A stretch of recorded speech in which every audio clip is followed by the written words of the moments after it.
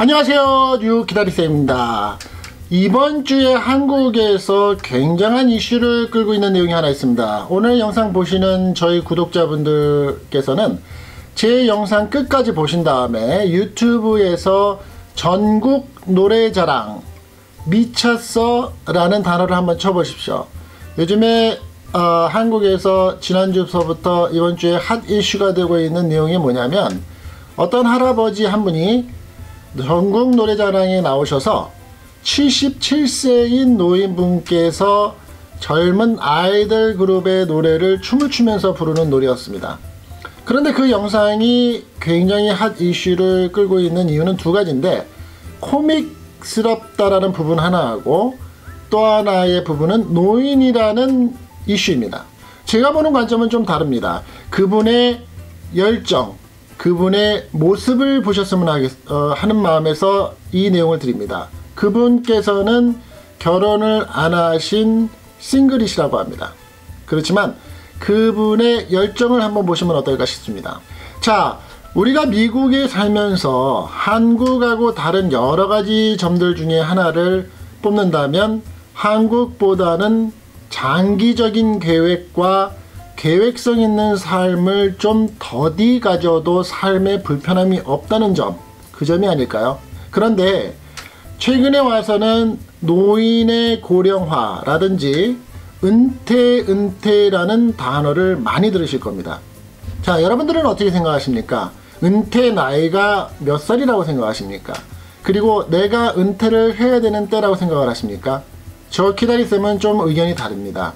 왜냐고요? 은퇴라는 건 개개인마다 환경과 경제적인 능력과 건강에 따라서 은퇴 시기는 다 다르다고 보는 게 제 견해입니다. 어떤 경우에는 미국의 쉐리프로서 경찰관 생활을 오래 한 사람은 50세에 은퇴를 하는 경우도 있고 매일매일 같이 소득에 허덕거리면서 생활비에 힘들어 하시는 분은 70세가 돼도 은퇴를 못하는 거겠죠. 또한 태어나면서부터 돈을 가지시고 경제적인 여유를 가지신 분은 은퇴라는 게 없을 수도 있겠죠. 개인적으로는.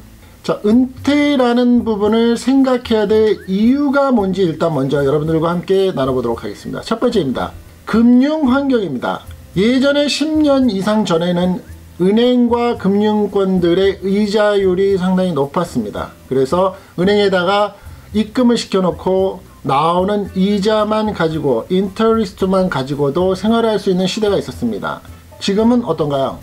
은행에 돈 넣어봐야 소용이 없죠. 이자율 너무 낮으니까요. 또 일하는 환경 문제에 있어서는 어떻게 변해가고 있나요? 내가 대학을 졸업하고 나서 직장 생활과 결혼을 하는 시기가 점점 점점 늘어나고 있습니다. 그렇기 때문에 사회생활을 시작하는 시기가 늦어지기 때문에 은퇴하는 시간과의 간격이 더 짧아지고 있습니다. 왜냐고요?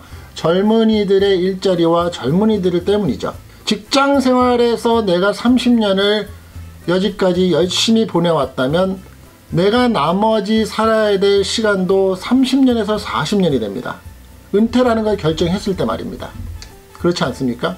나머지 반평생은 은퇴 후의 시간 동안에 내 시기를 가져야 되는 나만의 은퇴 후의 시간이 된다는 말입니다. 2025년이 되면 한국 같은 경우에는 5명당 1명이 노인이 된다고 합니다. 노인의 범주 안에 든다 그러면 지난 영상에도 말씀드렸지만 62세가 지나가면 연금이 나오고 노인 아파트를 신청할 수 있기 때문에 내가 노인이라는 굴다리에 들어가기 시작을 하겠죠. 그런데 62세가 노인이신가요? 어떻게 하시겠습니까?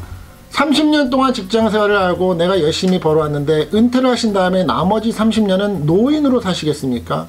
할아버지, 할머니라는 단어로 노인네라는 단어로 듣고만 그냥 사시겠습니까? 그럴 필요 없죠. 인구 구조 변화에 의해서 소가족화되고 인구가 많지 않은 앞으로의 인생에 있어서 나는 인구 구조에 있어서 남인가요? 울타리 안에 들어가지 않는 사람인가요? 나 또한 들어가야 되는 사람입니다.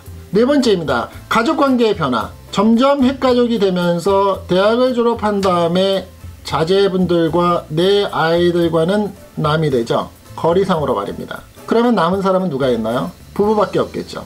친구밖에 없습니다. 나 혼자 살아가야 되는 구조의 속에서 내 은퇴 후의 삶에 대한 부분도 생각을 해보셔야 되지 않겠나요? 다섯 번째입니다.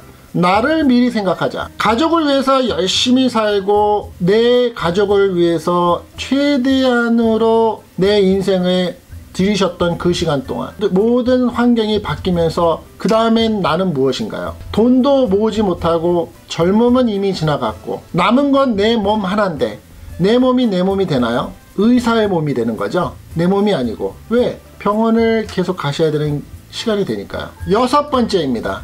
가족 관계 구성과 내 젊은 20대에서부터 50대 중반 60대까지 열심히 살아오시는 동안에 내 potential, 내 잠재 능력과 내가 하고 싶은 취미, 내가 가지고 있는 재능, 내가 몰랐었던 인생을 살아오면서 내 자신한테 드러난 나만의 장점. 젊은 20대 때는 모릅니다. 30대 때도 모르죠. 50대, 60대가 되면서 내가 남들보다 가지고 있는 장점, 나만의 장점을 발견하기 시작하십니다. 그러면 발견만 하시고 끝나시겠습니까? 앞으로 내가 50년, 60년 후에 나머지의 삶을 30년 가까이 사실 수 있는데 내 잠재 능력을 발견하신 다음에 그냥 아, 나는 이런 사람이었구나 하시고 끝내시겠습니까? 그럴 필요 없지 않습니까? 자, 오늘 영상 속에서 말씀드린 은퇴 계획이 왜 필요한가? 지금 사회 구조 속에서 가지고 있는 여섯 가지의 현상 속에서 그러면 은퇴 계획을 어떻게 세워야 되나? 기다리 선생님인 제가 심플하게 세 가지로 함축해서 드리면 어떨까 싶습니다. 은퇴 후에 많은 분들이 앙케이트 조사를 해보면 첫 번째로 생각하는 게 경제적 능력이 53.7% 건강이 32.8% 취미가 7% 가족관계가 3.4%라고 합니다. 은퇴 후에 내가 생각해야 될 고려 대상에 있어서 전 세계 사람들이 공통적으로 넘버 원을 차지하고 있는 이슈는 뭔가요? 경제력이죠. 자, 오늘 영상에서 은퇴 후의 계획에 있어서 첫 번째로는 경제력에 대한 부분으로 여러분들과 결론을 짓도록 하겠습니다. 돈이 없으신 분, 내가 50세, 60세가 됐는데 은퇴라는 건 감히 생각할 수도 없고 당장 먹고 살기도 힘들고 렌트비 내기 힘들고 있었던 빚 갚고 몰게지 융자 대출금 갚아나기가 힘들다. 은퇴는 무슨 은퇴냐? 라고 하시는 분. 그분들의 은퇴의 시기를 나름대로 두시고 결정하셔야 되는 부분은 하나입니다. 뭔가요? 건강입니다. 왜? 건강하셔야 매일매일 목표로 하시는 내용을 사실 수 있는 거고 계획적으로 그 전에 있었던 대출금과 모든 걸 갚아나가실 수 있는 거고 어느 순간에 갚아나가신다면 그 다음부터는 새로운 목표를 가지셔야 되지 않겠습니까? 그러려면 제일 필요한 게 뭔가요? 건강입니다. 내가 당장 먹고 살고 힘들고 경제적인 능력에 다른 이슈는 생각하지 못하시는 분 하나만 생각하십시오. 은퇴라는 내시기 결정을 해서 건강, 지금까지 운동을 안 하셨으면 운동을 하시는 거고 지금까지 눈 관리 안 하셨으면 눈 관리 하시는 거고 이 관리 안 하셨으면 이 관리를 하시는 계획성 잡으시는 그 은퇴 관리 시작하십시오. 자, 두 번째 불우이십니다. 직장 생활 30년 동안에 연금 부어놨고 가족들을 위해서 간단한 몇 가지 보험을 들어놨고 내가 제2의 인생인 은퇴 후의 시간을 생각하시는 분들 무엇을 생각해야 될까요? 첫 번째 나의 제2의 인생인 취미, 나의 잠재력, 내가 그동안 하지 못했었던 일들 중에서 무엇을 하고 싶은지, 내가 가지고 있는 잠재력 중에서 사회 재능 기부를 할 수 있는 건 있는지, 누군가를 위해서 봉사를 할 수 있는지, 아니면 내 자신을 위해 나갈 수 있는지, 여행이 되실 수도 있고, 취미 활동이 되실 수도 있고, 대인 관계가 되실 수 있고, 봉사가 되실 수도 있겠죠. 경제적인 능력이 되셔서 안정의 기반을 가지실 수 있는 그런 분들 이쪽 부분에 은퇴 계획을 삼아 보십시오. 자, 세 번째입니다. 남들이 봤을 때 부자라고 하시는 분, 돈이 많은 분, 투자금 많이 있고 경제적으로 유동성 있는 자금 많이 가지고 있고 빌딩 가지고 있고 부동산 가지고 있고 내가 자손한테 3대를 물려주고 2대를 물려줘도 충분한 금액을 가지신 분들 무엇으로 은퇴를 생각하셔야 될까요?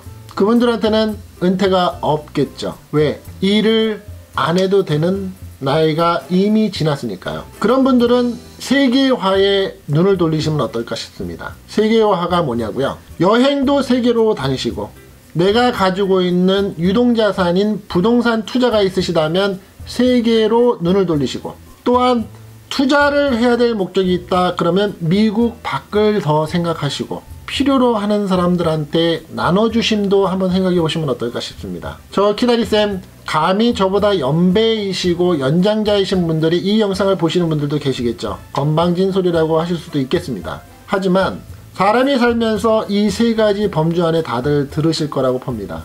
건강하시다면 건강을 더 유지하시는 거고 돈이 있으시다면 돈을 더 활용하실 수 있는 여러분들의 제2의 인생 모든 사람들한테 이름 석자 긍정적으로 웃음을 지을 수 있는 이름으로 남으실 수 있는 그러한 분들로 제2의 은퇴 생활 계획을 지금 당장 영상을 보신 다음부터 삼아보시면 어떨까요? 은퇴 결정 뭐 별거 있나요? 내 위치에 맞는 결정하면 은퇴 결정입니다. 내 위치에서 할 수 있는 일을 하면 그게 은퇴 결정이죠. 자, 오늘 영상도 여러분들께서 그냥 재미있게 봐주셨기를 바라면서 좋으셨으면 이쪽 아래에 있는 구독 버튼 눌러주시면 좋고요. 이쪽 아래에 있는 좋아요 버튼 눌러주시면 키다리 선생님한테 힘이 되겠습니다. 영상 끝까지 시청해주셔서 감사합니다. 그리고 잊지 마세요. 아까 말씀드린 전국 노래자랑 미쳤어 할아버지